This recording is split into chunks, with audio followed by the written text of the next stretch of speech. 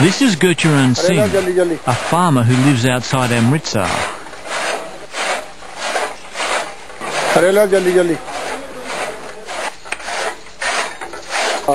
He has a chilling tale about how police butchered his son.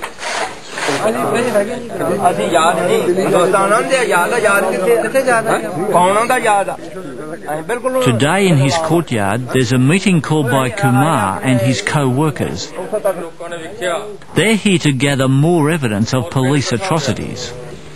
ਦਰਿਆ ਹਰੀਕੇ ਛੁੱਟਾ ਆ ਉਸ ਤੋਂ ਬਾਅਦ 1900 These people have lost a relative at the hands of the police.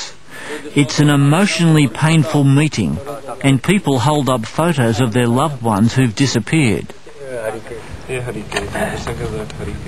This man, a poor street vendor, is trying to find out what happened to his son, but the police are threatening to kill him. मत देखें तो क्या कहने से ਵੀ ਤੈਨੂੰ ਦਰਿਆ ਦੇ ਵਿੱਚ ਰੋਜ਼ ਦਿਨ ਮੱਛੀਆਂ ਤੇਰੀਆਂ ਭੁੱਖੀਆਂ ਮਾਰ ਰਹੀਆਂ ਨੇ ਸਾਨੂੰ ਉੱਚੇ ਅਧਿਕਾਰੀਆਂ ਤੇਰੇ ਕੰਮ ਕਰਨ ਵਾਸਤੇ ਲਾਜ ਮੈਂ ਉਹ ਤੋਂ ਡਰ ਕੇ ਜੀ ਰਿਹਾ Some have been disappeared and Gurcharan Singh begins his story.